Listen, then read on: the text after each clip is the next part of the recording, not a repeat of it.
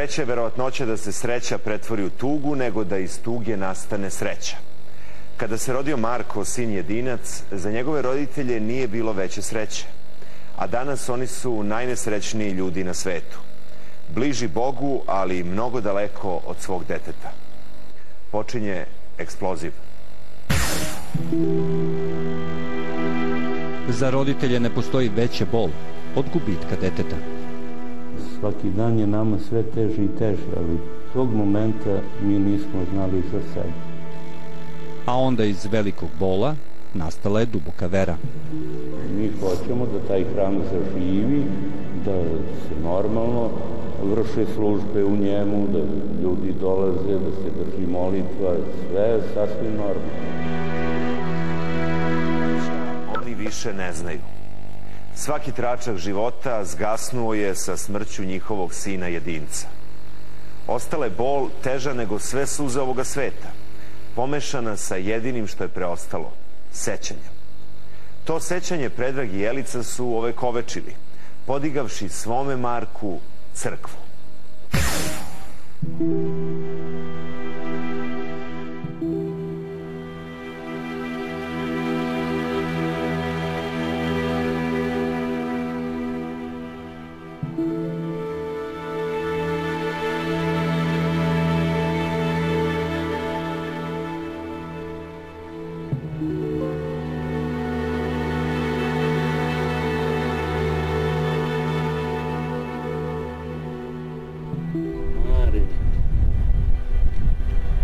Marko,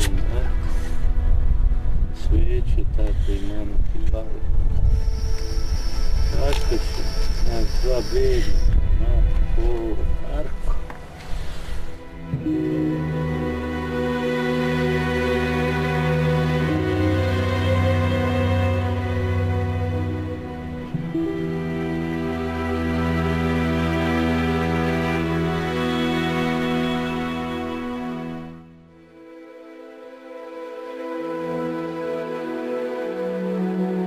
Jutro kad oči otvorim i kad se probudim i kad saznam stvarnost šta je koju ne mogu da prihvatim, stalno očekujemo neko da će vrata da se otvore, da će da se pojavi, strašno je, strašno je teško. Svaki dan je nama sve teže i teže, ali tog momenta mi nismo znali za sebe. To je moj jedinac.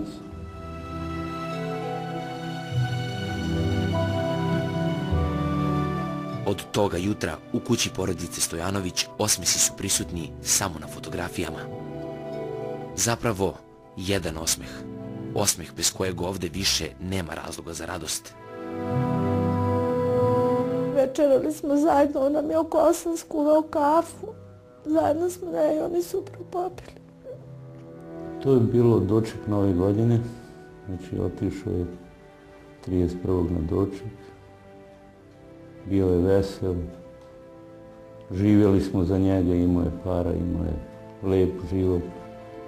Znači, na dočeku otišao, proveo noć, došao u pet sati sa veselja. Čuo sam kad je došao, otključao, zaključao, leglo, i sutradan smo ga našli mrtvog.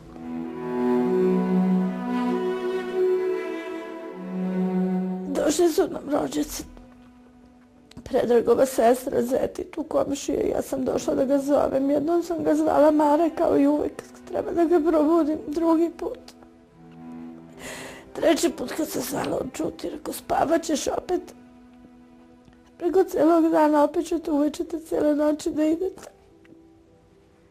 Se nije odazvao kad sam otkrila, on je ležao nepopično.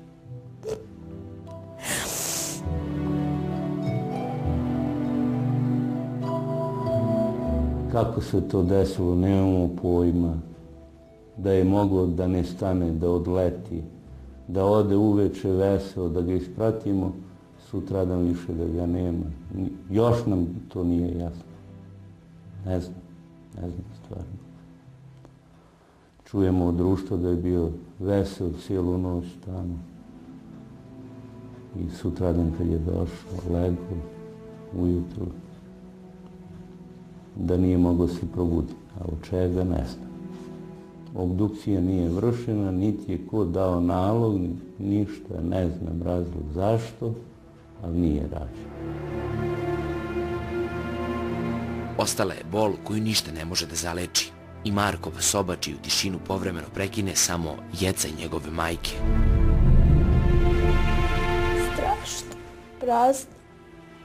Strašno. Pusto bez njega sve. Marko je bio super dete, dete koje se tako ne nađe, veliki drug, veliki prijatelj. I dan danas društvo ga veliko nije zaboravilo, dolazi, obilaze nas, pomažu nas. Imali smo nešto naše zemlje, kupovali zemlju, radili. Našao je sebe tu, imao je svu mehanizaciju, sve.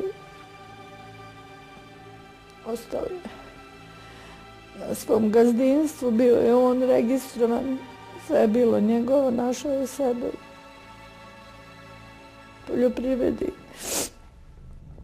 poljoprivredi. Mi smo imali sve, izgubili smo sve. Sa njegovim nestankom. Ipak, Marko neće živeti samo u srcima ili kroz sećanja i slike.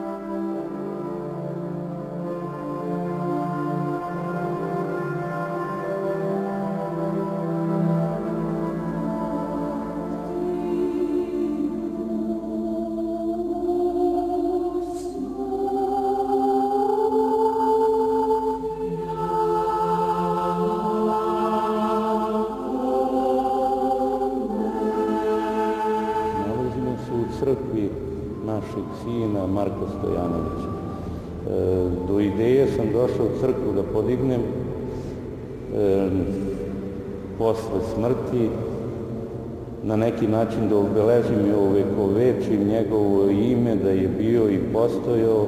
Da, da naš Marko, da naše Dobrice, da naš jedinac, da naš mezimac ostane da se spominje da je postojao i znani i neznani kad prođu pored ovog hrama.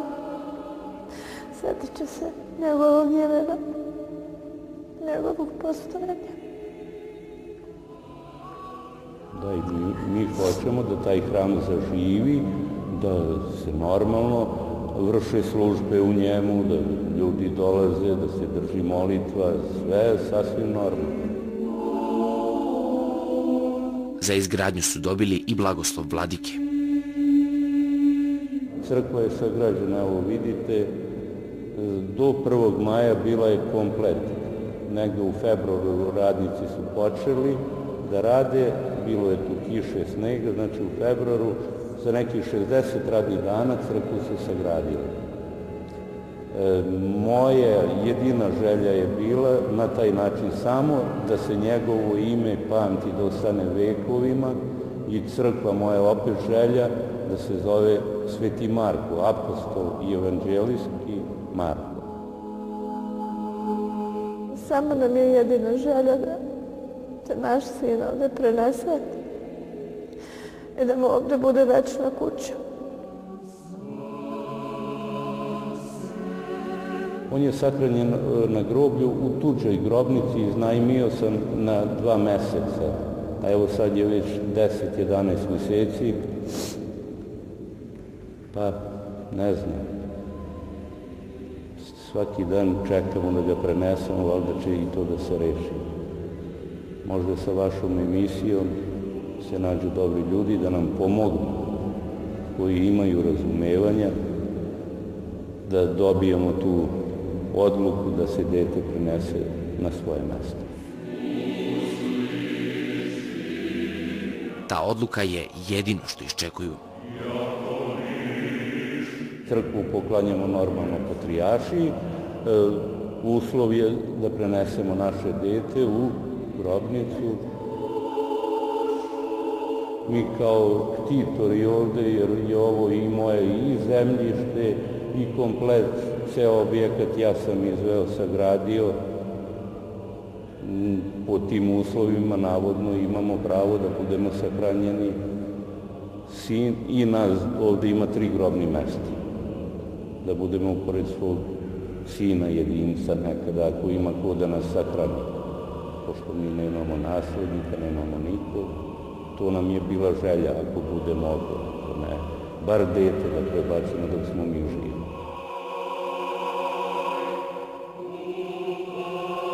Kažu da nema veće tuge od one koju roditelj oseti kada izgubi dete. Pa opet, zrno utehe nije nedostižno, iako ne menja mnogo. Porodica Stojanović tom zrnu nada se i dalje.